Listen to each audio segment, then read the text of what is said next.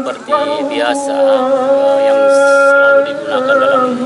uh, torekan Aksaban Kuliah Jalia